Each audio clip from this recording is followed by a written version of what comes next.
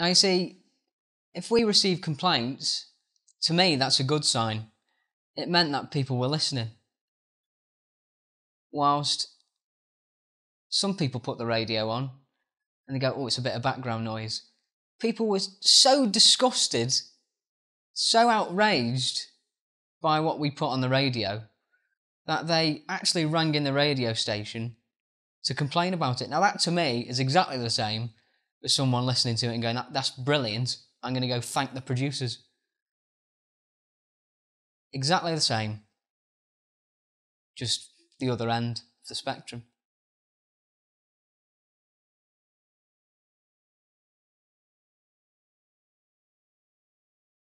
What, Hey? what are you filming? now? What you Uh, we're filming the House of Commons bit from A Cracking Time, Animal Equality, and um, no, I like that. That was good. We're filming House of Commons bit. Basically, long story short, Can't flim. if you're watching this, you've listened Can't to it. I'd hope. So it's a goose in the House of Commons. There Over you your go. belly. Uh, cover your belly. Shall we go? Right, go for it. Sure, just be where you are in this. Yeah, d- Ready, check? Mr. Toryman MP. Mr. Speaker, I'd like to raise the issue of complete animal equality in Anglesey. You you see, since 1989, the Isles' infrastructure is in tatters. A, a complete drag on the Welsh economy. When will the right honourable gentleman for Anglesey admit that this interspecies social experiment has been a complete failure? It was painstaking. Oh, pardon me. Very grueling. Uh, we worked long hours in a hot, sweaty booth.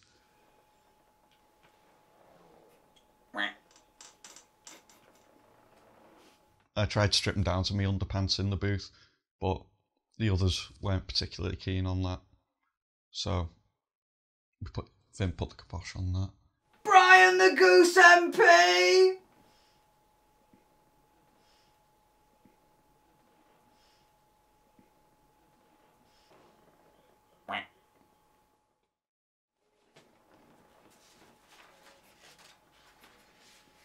And that's the end of the scene. Thank God for Fucking hell. Oh, no. Oh, Ben. Oh, Ben. Like, there was no need for you to creep towards the microphone like It was that. He's so he actually has the neck of a goose when he does it. There are some belter bits in there. You know, IGN would give it a solid 5.5 out of 10. Um, the Sun would probably give it four stars because the Sun, they like shit, don't they? Should we just should we just release six episodes of this scene? Brian the Goose is getting a spin Brian the Goose. It's just about the House of Commons with Brian the Goose. You should do Brian the Goose. Like, MP. It's my favourite thing. Are you okay? Do you need to talk about your feelings? I can feel the veins in my forehead from like trying to I really. restrain the laughter. shit. I really hope it picked up like the slight crinkle of the chair. what, you, you think that's the goose's suit? Culture My Arts is, is not meant to antagonise anyone, but if you were upset by it, then I think that's a positive. I think it's a positive if you're upset by Culture My Arts because it meant that you were you were listening, you were using your ear receptacles to listen to Culture My Arts, and you went, you know what, that's revolting. I'm going to be sick. This is awful. This is the weirdest and crappiest radio show I've ever heard in my entire life. But at, at, at least you heard it. So have you heard that fact, which is like you're supposed to put conkers in a room to get rid of spiders? I'm the You're the conker. I'll have you know that Beth's a great conker. Thanks. That means the world. Now let's get on, you fuckers. Something happened and you can acknowledge that. I challenge anyone to say they've listened to Culture My Arts and they didn't hear it. Because I reckon everyone heard it who listened to it. In Tottenham, John and Joan Johnson are watching telly. Who'd have thought it? And they have some riveting insights whilst watching Question Time. Ooh! Our Prime Minister is struggling for this running the country malarkey. Must be harder than it looks. I hate that Prime Minister. Yep. He's rubbish.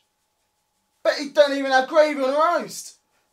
Just, just has it tried, doesn't he? I, I, I bet he's never had to de-ice his windscreen. I bet he's never forgot to bring his bear for life to the shop, so he has to buy another one. He's not got a clue. He's a, he's a pillock.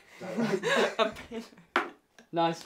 Cracking. That's what my uh, He's no lemon squeezer. my football coach used to He's not a sound pillock. lemon A squeezer. pillock. Yeah, he'd be like, See, I'd like to say that culture my arts when we're we're kind of having a pop at people.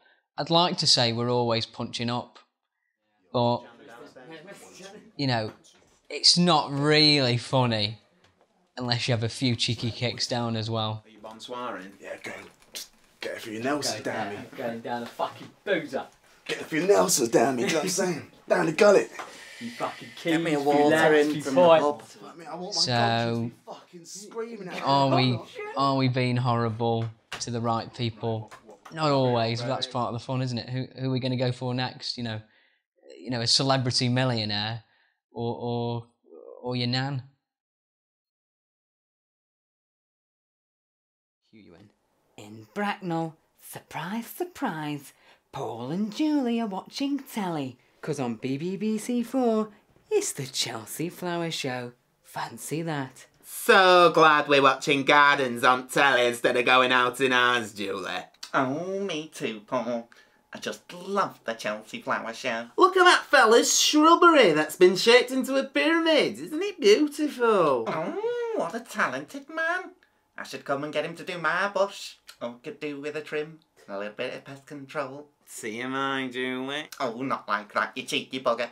a bit of pest control. It is a big cast and crew, and I, I've got one phrase for what it's like to work with 17 people on a podcast. COVID compliant. How are you going to uh, tackle that logistically? It'll be fine. It'll be fine. If anyone, if any government officials are watching this, I don't know why I would be. Um, it's rubbish. But I mean, if if if you are watching and you're thinking, oh, this is not, you know, what's going on here? This is, doesn't look like it's in in line with the guidelines. It's going to be fine. We're going to do a hand hand sanitizer. Yeah, got a big bottle of Dove in there. We're going to do temperature taking. We're going to take people's temperatures. Yeah. Have you got a thermometer gun? No, I just pop my finger in the mouth and have a taste. That seems wildly reckless. No, I just say, you know, well, you taste a bit hot. Give it five. If you're not coughing, come back. Come back in. Welcome. yeah, there there are certain people that I'm not allowed to be within a certain radius of. So that was my reasoning for not being in the recording week. If you had to summarise why you couldn't be present in legal terms, Harassment. Uh, I've been harassed a lot by some of the cast members. They used to turn up to my house. In fact, one of them, I'm not naming names, but she basically kept turning up at my house every day for the past three years of my undergrad. And I didn't know what to do. We did call the police many times, and my housemates and I were scared. In the end, we had to lock her up in the attic of our house, and that was where she resided because that was the only way to uh, to get through it all. This is We got a restraining order against her, so she has to reside in Crawley now, which is quite nice. Belly. Forgot me Fonta. Oh, I've got an email on a And do you know why we call it Fonta, Finian? Because it's fun to drink. Yeah, it's going well. Has there been any standouts so far? Uh, it's it's hard once Ben Cookson's entered your life to get rid of him from your head at any point. I can't think of anything but Ben Cookson right now. I know I've seen other people. Evening. Evening, come on in. You're right. See, I know I know who you are, but all I can think of is Ben Cookson. everyone, everyone. Am I I a tall see- ginger scouser, am I? well, it doesn't. It's like you, but with Ben Cookson's head. Everyone. Connor's got Ben, Cookson Cookson's head. boobs. So it's Yeah. like being John Malkovich, but for Ben Cookson. Yeah, basically. Being Ben Cookson. Cookson. God, you dread the thought. So yeah, that's been my standout. It's like you, But it's not because Kaufman. it's not voluntarily my standout. It's because I can't see anything else. I just see Ben Cookson. It's quite harrowing, really. Shocked, disgusted, appalled. Those are the words on the streets in reaction to the recent Gogglebox controversy. Obviously, without the northern inflections there. We'll have a go. We can have a few goes at the voice before we settle on it, yeah? Appalled. Those are the words on the street in reaction to the to the recent Gogglebox controversy. Controversy. Yeah, I reckon that's how it The inexplicable. Plop, plop, plop, I did this last night. Popular. Popular. The popular. the popular go- Gogglebox has been cancelled. I also played Poppy Cox. Uh, she's like a newsreader. Um, and I think her first news story is she's breaking that all the Gogglebox characters are MI6 agents. And I wholly believe that. I think it's a conspiracy. Ooh, that sounds Great idea. great idea. I think it's like when news, like news bits are always written with like pointless fucking, like alliteration, aren't they? Like characters. Imagine having to read that off a teleprompter. Yeah. I'd be fucked. yeah. Like, I, know, I know Finn wrote it, yeah, but I think he's got a point. I really do. Controversy. Controversy. Have you got a biro? Hold on. Controversy. The thing is, I'm going to write on it and I'm not going to like look at it. I think he's like one of the lizards, like the Queen. Fucking patrons, you did this. Like the Queen is the lizard queen, obviously. Like it's, Larry- she's the Queen, yeah. Oh, it might work actually. Seen that? Look at his little. It's that entertainment. Do you like watching that? oh, it's Harry Potter pen. They have things that I have at home. Shut up. But I think Finn is like the lizard prince of Gwynedd, like Owain Glyndŵr, but a lizard. Disgusted. Appalled. Those are the words on the street in reaction to the recent Gogglebox controversy. The inexplicably. inexplicably oral mucosa. yeah, to be there. MI6 have now cancelled Operation Gogglebox and the agents involved have been relocated. However, the British public will still have one question What will we watch now? Answer Actual TV. Sick. Sick as fuck. So I'll get um, I'll get Byron to do his Guy Four bits, and then I'll just get you back Yeah. for that. But we need to do the, we need to do Wendy Room, Madam Moonshine anyway, Yeah, and I need Byron's lines for that as well, yeah. just so we can Good work old around Byron. him. I'm really tired. We keep going bed really late because we keep watching that Patrick Stewart video. There's no- It's like three minutes long. Like no. Yeah, but we just keep laughing about it for about an hour and a half. Like at midnight, we were just like, well, we better watch it before bed. and then, and then we just like literally for the next hour and a half, we're just wandering around going, oh, cover your belly. Yeah, Dion Davies actually, um, he held me at gunpoint to get the part, so I, I was fast asleep. Heard a bump in the night. Next thing you know, gun against my head. And he goes in my ear, I've got your dog. I won't be afraid to do it. I said, Don't do that. It's a basset hound. It'll be a right mess. So he recognised my voice, obviously. And he said, Are you Frank Sod from Culture My Arts? He goes, Yeah, I am. He goes, I was passing through Stoke on Trent when they went out on the A34. And I thought it was bloody brilliant. I goes, You be the first. He laughed. And he said, Well, I tell you what, I'll let this all go if you give me a part. I said, Consider it done. After that, took Reggie out for a walk and he calmed right down. We'll probably uh, just go for a few takes, and as we go, I'll just say, oh, I can have that line a bit like this, can I have that as long as you're good with that. Yeah. Yeah. Fucking hell, when Ben gets in, we're going to have a laugh with it anyway, because he's just like, here he is. Ready for my close up? It's, here he is, here's Stinky Bum. I am excited to do this. It's all about the So much fun. process. It's Yeah. all about the process, baby I'm gonna have a smashing time because I'm with bloody lovely company. Fuck off. See that. Is this for the Patreon? This is for this the is for the Patreon. Patreon. This is him saying that he thinks he's we're really good. He knows us so little. Are we allowed to swear on the Patreon? Um, Oh, yeah. yeah. top dollar, Oh, of course. fuck for that. I think so. If they're paying for it, they should get explicit content, shouldn't they? Really. In 1989, when they gave animals equal rights on Anglesey, a lot of the cows weren't happy being milked and slaughtered, so a lot of them left. By 2000, I was going broke, so I had no other option but to sell the land to a rich investor who happened to also be a cow. She then turned this place into a human factory farm, at which now I'm livestock. What are you doing? Oh! Oh! oh. Uh, I'm a journalist! Journalist! Journalist! Cool. So I still think I didn't give him enough emotion, I think. Uh, yeah, I I'm ag- I agree. We can we can wrap that right off Yeah. because I think the thing about J- John, like you're you're so silly that that you need it needs to be talking to someone who's like quite genuinely spinning a sad story here. No, it, no. Listen, as far as I'm concerned, this is all this is all part of it, and we've we've got it. We've got to get to the point we want to get to. He, he tries to be a gentle soul you know I mean? when the cameras are on or when he's in public.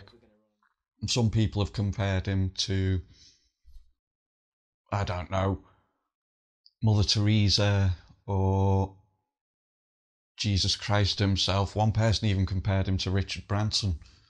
But when the cameras are off and behind closed doors, he's a bit more of a Donald Trump or a Kim Jong Un or Megan Fox, you know. to be on everything because that's brilliant. That's super funny. Okay, it's really really funny. Yeah. So what you're doing on that milking line, it, it needs to be on everything. Don't get me started on my breasts though.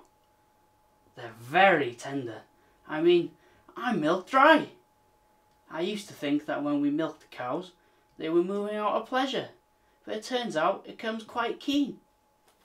I do keep trying to tell the cows I miss my family, but they don't really seem to be on the same wavelength. No! Stop! Stop! Oh! Uh, uh, I've been John Goff. This has been my crack. In time, I'll speak to you when I've got myself out of this pickle. Oh! I- I'm sure when the cows find out I'm a journalist, they'll release me from, oh, the farm. Oh, gosh, Bryn, I seem to have landed right in some mud. That's not bad, John. D, that is so much better. That's really nice. Yeah. When I imagine this in my head, I'm imagining like a man on all fours in like a factory farm. Does he like have my this. face though? Of course he has your face. Oh, good. but All he- my but he- imaginations have your face. he has your face, but others. Oh, that's fucking sexy. I'm just You picturing know, your that's a postcard. on In, in, Hey, Con. Oh. Hi, patrons. If you're watching this, this is only for patrons. Well done. You've joined an exclusive club. Do you feel special? Oops. Do you feel really good about yourself? Yeah. Well, I give five pounds to an independent. Fuck. Do you feel good? Yeah. Is that good? Is it like giving money to Samaritans? Yeah. Is that what it's like? Oh, I'm helping out local. No, you're not. Doesn't even pay the petrol. Patron. Shut up. Is that what you're giving us? Oh, I can get a meal deal with that. Oh, can I have a sandwich? Oh, I can't. Look, I can't even. Oh, can I get a sandwich? I can't even buy uh, three ply toilet roll with that. Yeah, my fingers are going to go right through the toilet roll. Yeah, two ply. Shitty fingers. That's what you're giving me. Shitty fingers. Oh, can I be a patron? I'll have a shirt for five pounds a month. That's fucking nothing. Cost, cover the cost of the shirt. Do you want to? Do you want us to die? Do you want to? Look at him. He's gonna die. He's gonna die if you don't give us your money. Look at him again. He's dying, man. He's fucking dying. Look at him.